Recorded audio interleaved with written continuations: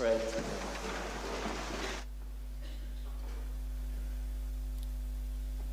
Thank you, Lord. Lord, we thank you for your goodness to us. Lord, help us to be a people who, as that song reminds us, to, to kind of forget what was behind. As Paul says, to strain towards what is ahead and to press on uh, toward the goal to win the prize for which God has called us heavenwards in Christ Jesus. Lord, thank you for the, for the prize of, of knowing you, of all we've inherited in you, of, of you changing us, Lord. Thank you, Lord, that you see the works of your hands.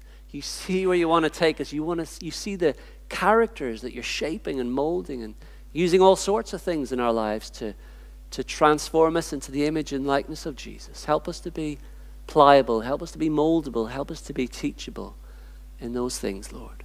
And Lord, as we look at your word now, I pray your blessing on Brian. Lord, I pray you just really anoint him this morning and help us to, to listen and to apply what it is you would want us to do in our lives. And we ask this uh, in Jesus' name. Amen. Amen.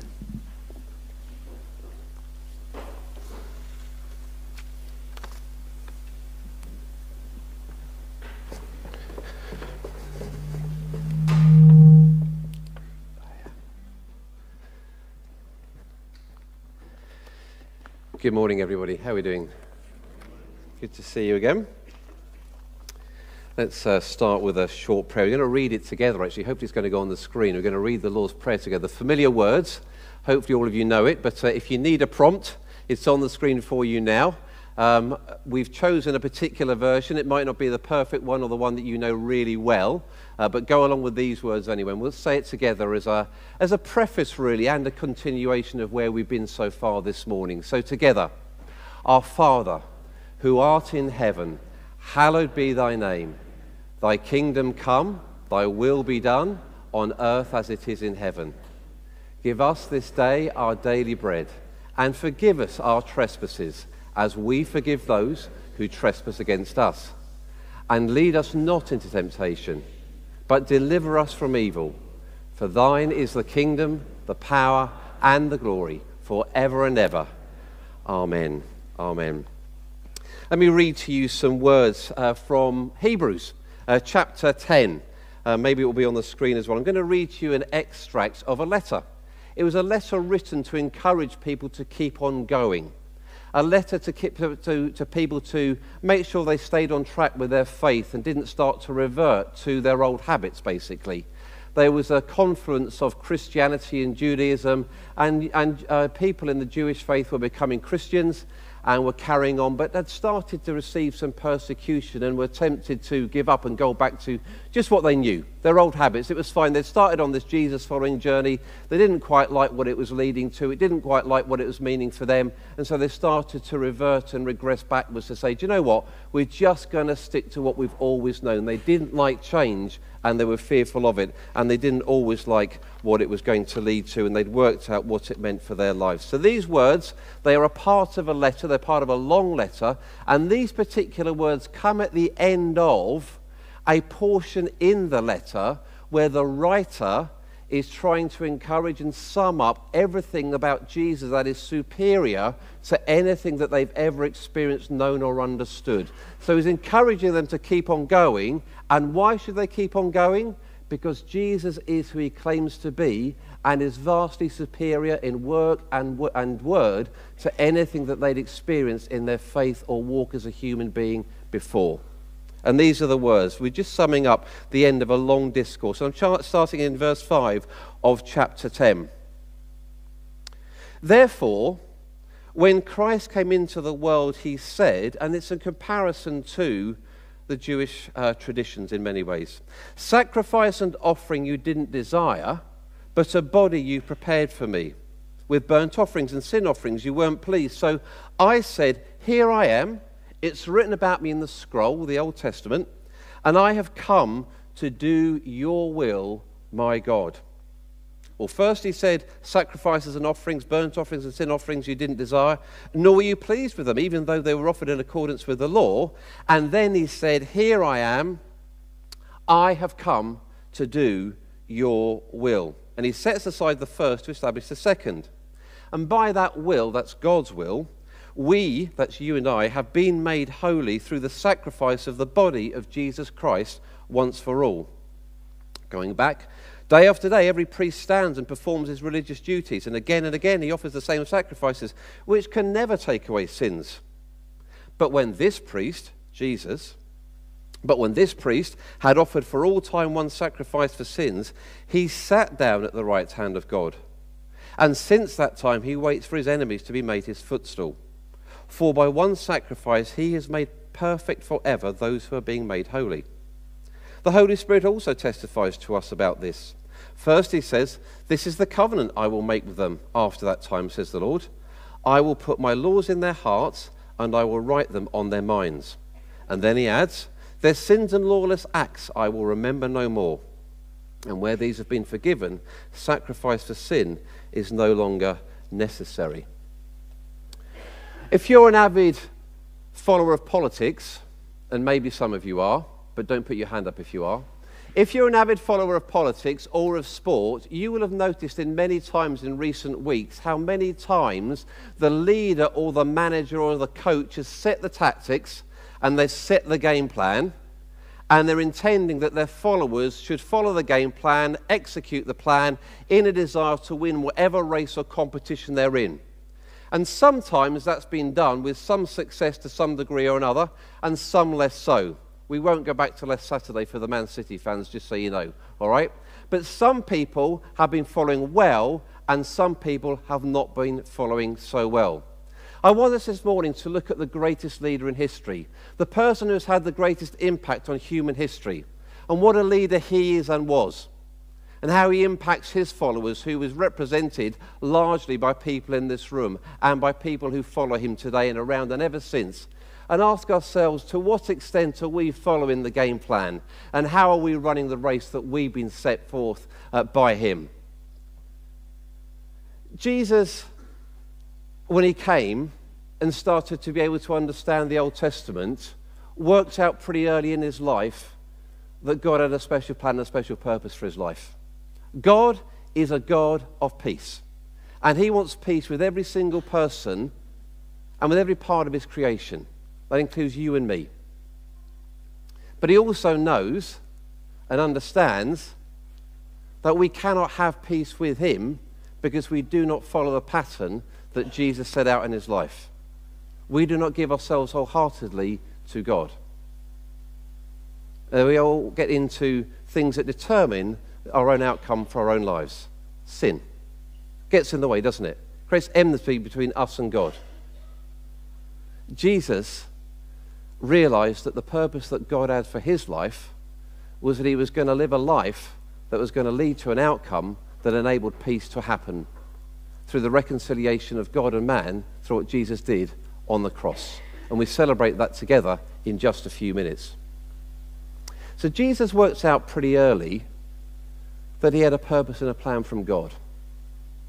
And he was absolutely determined, come what may, that he would see that plan and that purpose fulfilled in his life. And that everything he did, in every step of his life, set out to accomplish the purpose and the plan that God had for his life. So that one day, at whatever point God judged necessary or relevant, he would lay down his life, a perfect body and perfect blood, died on a cross as a sacrifice in our stead. And we celebrate that together in just a few minutes. Jesus became obedient. That was his whole outlook in life.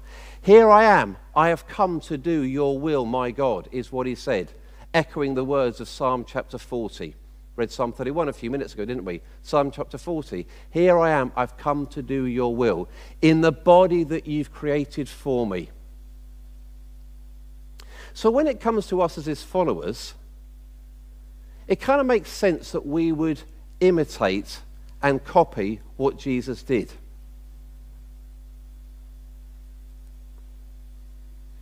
Jesus set out to be completely obedient in everything that he did thought, word, action. Where do you think the body of Christ is right now?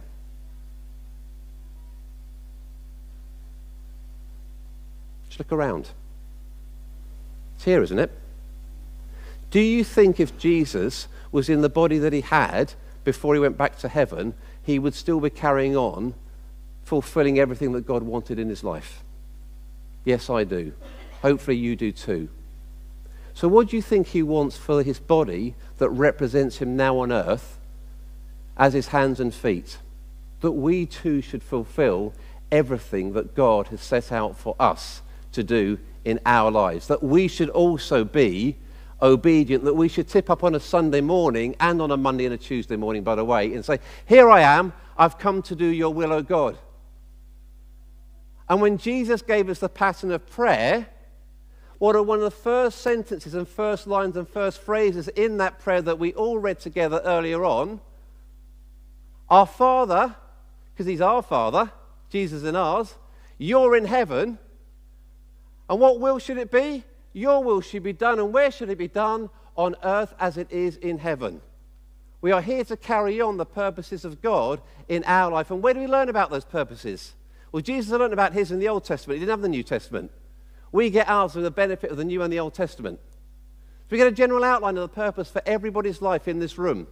You and I have different careers, we have different walks, we've got different skills, we've got different families. Some of us got curly hair, some of us got no hair, some of us have specs, some of us no specs. But God has a plan and purpose for every single one of us in this room, as well as collectively as a body, generally across the world and throughout time, and this group of people in here in this generation. And it's our job to put ourselves in the same place as Jesus did when he, when, we, when he responded to God. He said, You know what? You've given me a body. Here I am. I've come to do your will.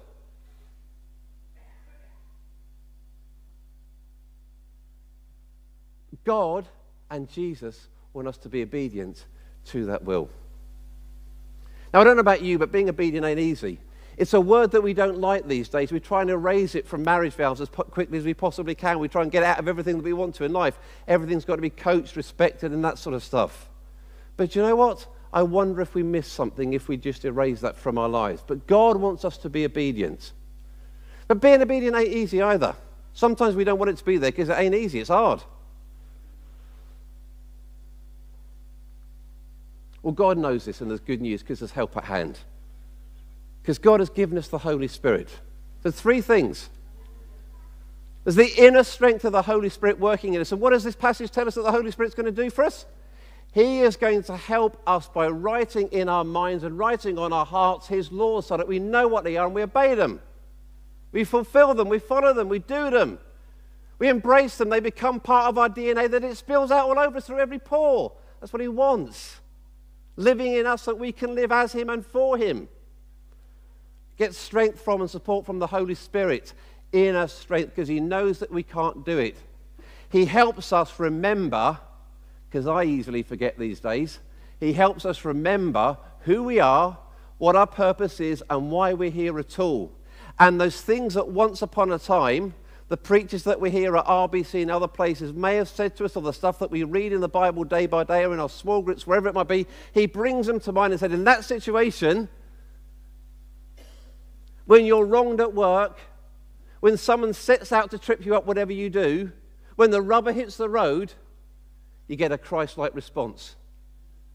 Because that's what he wants. Because we want to stand out, don't we? We don't want to be assimilated. We don't want to be conformed to the pattern of this world anymore. Romans 12 2 for any of you that know it. Here to make a difference, here to stand out, here to be different, here to show that there is a different way, a different possibility, a different outcome, a life to come, a kingdom that can be lived now and in the future. we're here. What he wants from us in our bodies while we follow.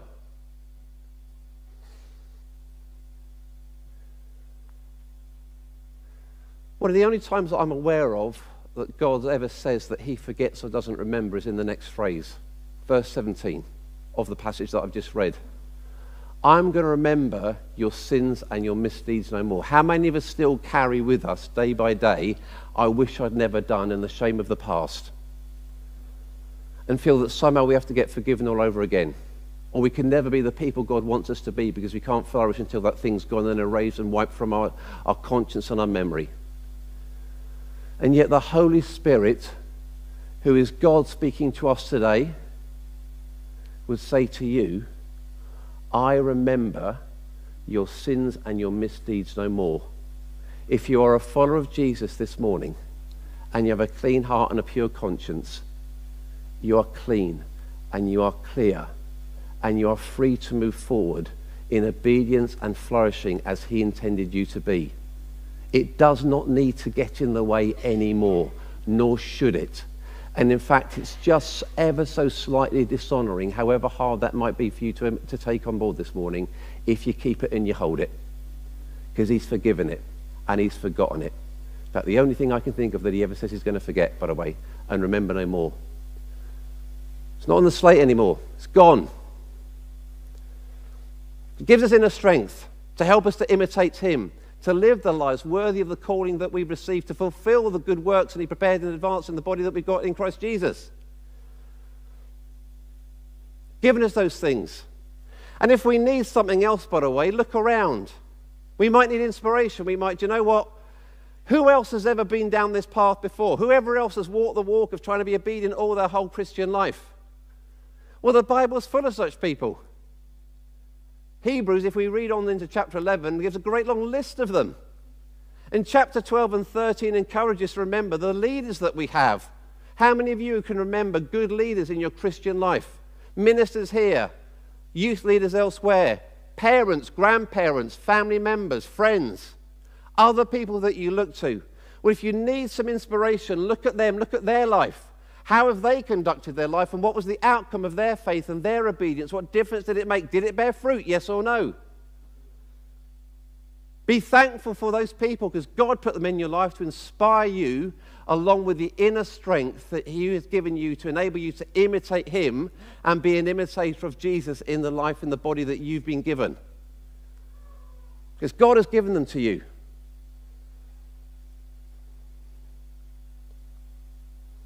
So I asked this morning in closing, you'll be pleased that it's a really short sermon for me today because we're carrying, we're carrying in a lot of stuff in this service this morning, all right? And I'm going to be even shorter than Barry expected, so we're going to be finished well before 12. How exciting is that for everybody? Hooray, he's short for once. It's just age, by the way. I'm nearly getting there, don't worry.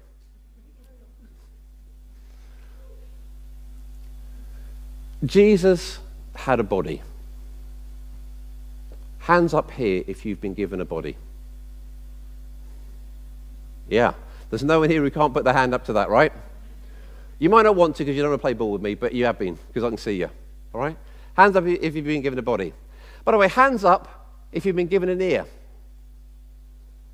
Yep. Well, most of you have because most of you responded and heard what I said. I used to be a sales trainer many, many moons ago. I'm too old for that these days. But once upon a time, I was a sales trainer. And one of the things we used to tell salespeople was this you were born with two of these and one of those. One of them is capable of shutting, two of them never do. Jesus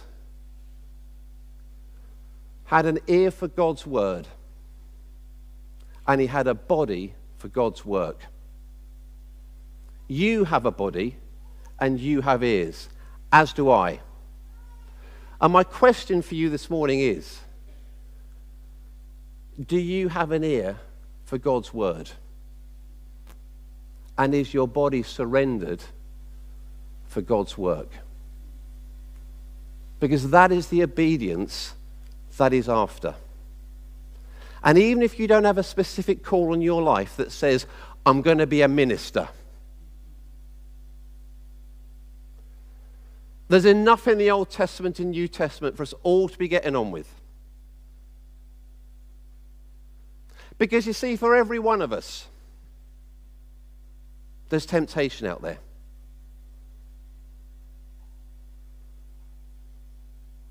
Walking the talk is not always easy. Forgive your enemies. How many of us find it easy to bless the enemy that's set up or stood against us, whether they're my neighbor or my work colleague? How many people can't let go of something where they were wronged a few years back? How many of us still feel the tug in our purse strings of generosity and find it hard to let go? How many of us still find it the allure of sexual attraction elsewhere outside the marriages that we're capable and should be committed to? You see, every day we bump into stuff where the talk and the walk need to go hand in hand. And the obedience needs to come out when the rubber hits the road when we're faced with do I come with a Christ like decision or not? God's will for Jesus' life was that you would be reconciled to Him through the life that Jesus lived and the death that He died. And all of us would be drawn near. Our job is to carry on being His body as individuals collectively, living out a life of obedience that makes attractive the words that we speak by the, word, by the deeds that we do. And we draw all people in. God wants everybody to have peace with Him on the planet. And He wants to reach those people through you and me and to live lives that are different and dedicated to Him and wholehearted for Him and obedient to Him in every sphere. We've sung it, we've said it this morning. Here I am, my life surrendered now, my life laid down. I give you everything. Did you sing those words? How many of you sang those words? Most of you. How many of you read, Your will be done, not mine? Most of you, if not all of you. Let's take those words and the talking to walk this afternoon and tomorrow and Tuesday and Wednesday and everything that we do and make sure that we have an ear for God's word this week and a body surrendered for his work. I'm going to close now in prayer. It's actually a prayer lifted straight from the Bible, you'll be pleased to know, so I'm not varying from Scripture in any way. I'm going to read to you two verses of, of chapter 13 of Hebrews. And I'll read it, and I'm sort of ad libbing to give the band time to come down, whoever's ready to come and play to us, so that you're ready. But let me read to you, and hopefully it'll be on the screen. Thank you, Tony. Yeah.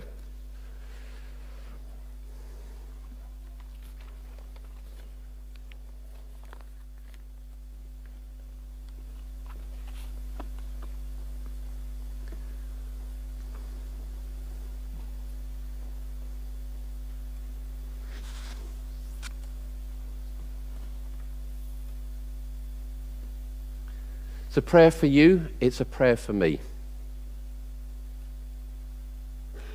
Now, may the God of peace, who through the blood of the eternal covenant brought back Jesus from the dead, that great shepherd of the sheep, equip you with everything that you need, everything good for doing his will and may he work in us what is pleasing to him through Jesus Christ, to whom be glory forever and ever. Amen. Thank you, Barry. Thank you, Brian. Thank you for challenging us in God's word and encouraging us as well. What a wonderful thought that uh, God remembers our sins uh, no more. What an amazing, liberating thought and truth. It's not just a thought, is it? It's truth. But the challenge of obedience, of course, is there too. Why don't we stand if we're able and let's sing in Christ alone together.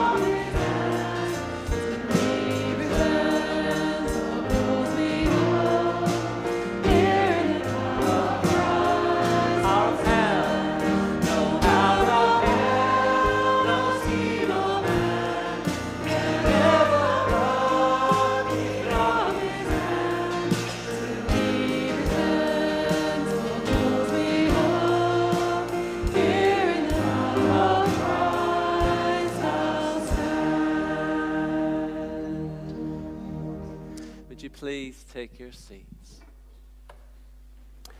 You know, one of the themes we've been thinking about this morning is, is family, and uh, particularly off the back of our dedication service earlier on.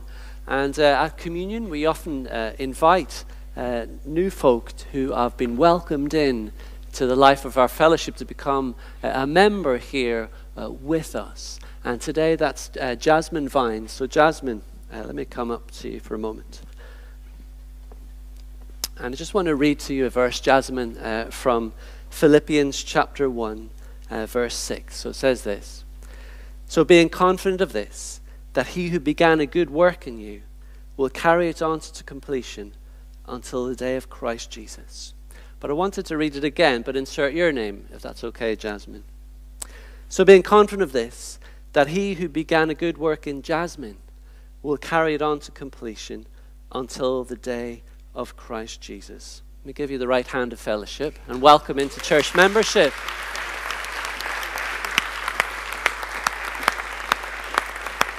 Let's just uh, pray for Jasmine. Lord, we give you thanks uh, for Jasmine. Lord, we thank you for her, her life. We thank you, God, that you knew her before you uh, even created uh, this world, Lord.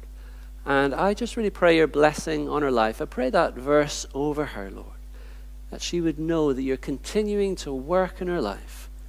God, may she be confident of that, that you promise to never leave her and never forsake her. Lord, we thank you for her. We thank you for the opportunity to welcome her into church membership today. Lord, help us to be a blessing to her, and may she be a blessing to us, Lord, as we journey together uh, in this life of faith. We thank you, Lord, uh, in Jesus' name. Amen. Amen.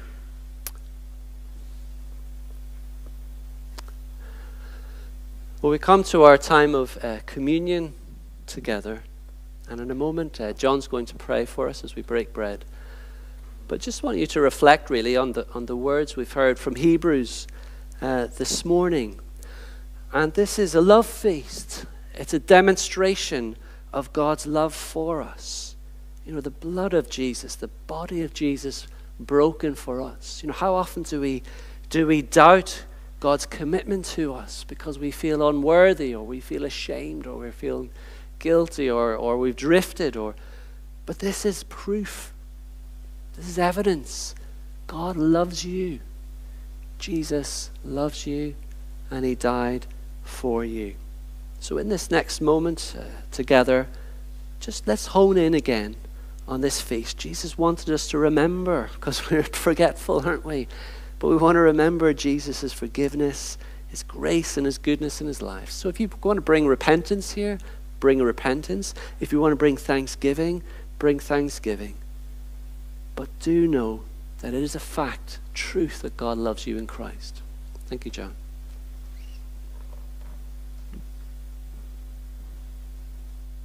Uh, let us pray.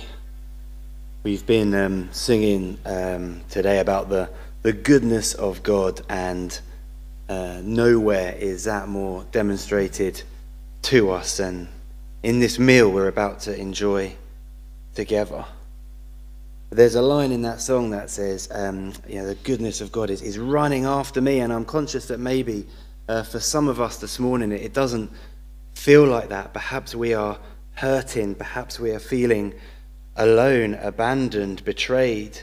Uh, maybe our bodies are feeling like they're a little bit broken. Well, again, this, this meal reminds us that Jesus is familiar with that. We can come to him this morning uh, knowing that he uh, knows how we feel. He was broken. I'm reminded of those words in Isaiah um, chapter 53. He grew up before him like a tender shoot and like a root out of dry ground. He had no beauty or majesty to attract us to him, nothing in his appearance that we should desire him. He was despised and rejected by mankind, a man of suffering and familiar with pain. Like one from whom people hide their faces, he was despised and we held him in low esteem. Surely he took, uh, he took up our pain and bore our suffering, yet we considered him punished by God, stricken by him, and afflicted. But he was pierced for our transgressions, he was crushed for our iniquities.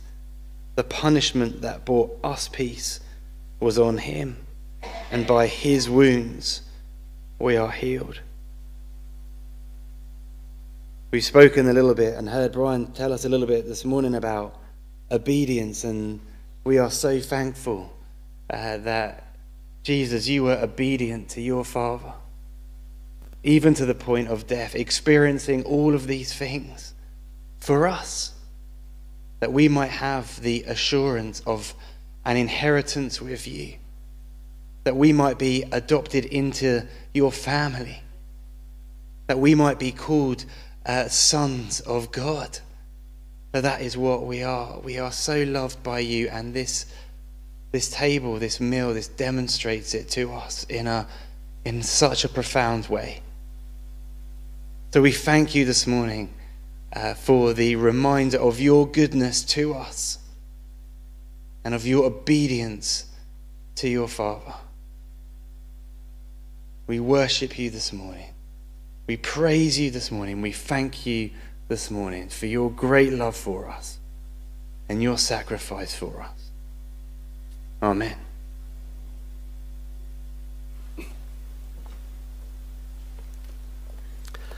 So the Lord Jesus, on the night that he was betrayed, he took bread and he gave thanks. He broke the bread and he gave it to his disciples. And he said, Take, eat. This is my body uh, that's been given for you. He says, Do this whenever you eat of it in remembrance of me. So if you're a follower of Christ this morning, uh, why not take the bread and eat and be thankful as you receive it? Thank you, deacons.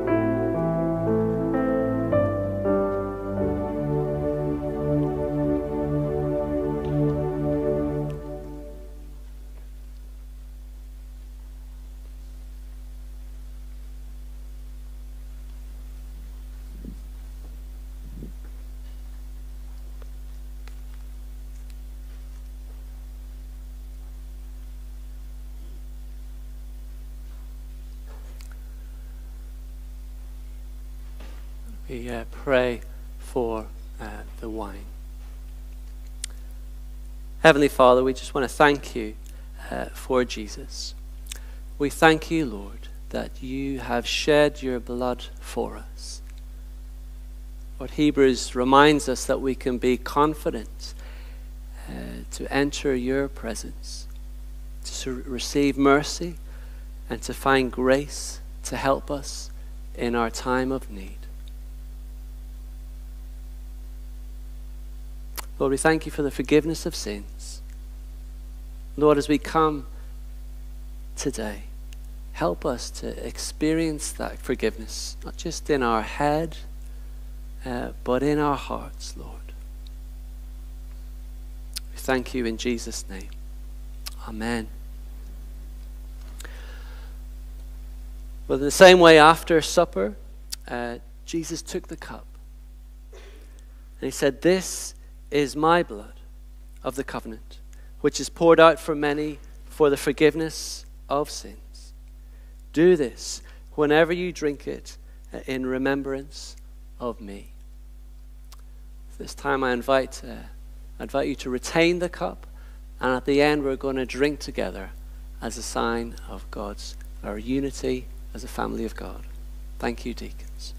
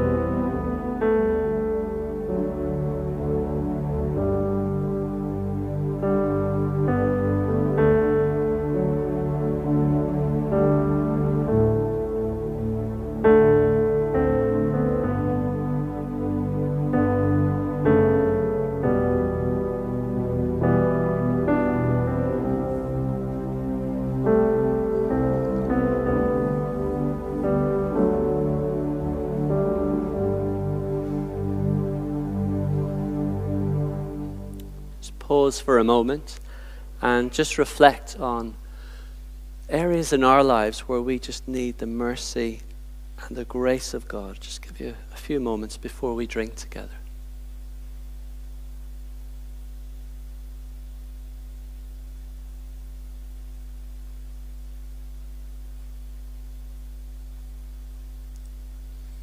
This is the blood of Jesus shed for us. Let's drink and be thankful.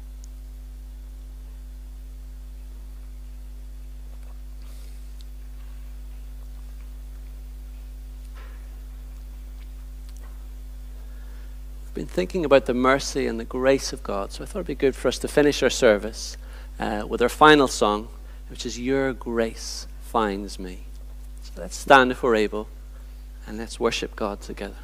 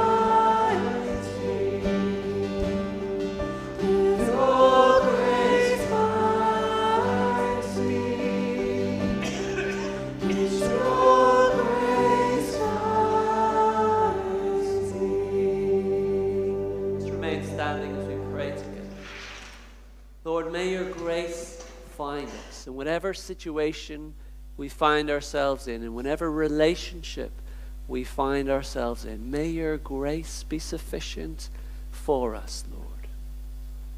Lord, your undeserved riches. We thank you, Lord, in Jesus' name. Amen.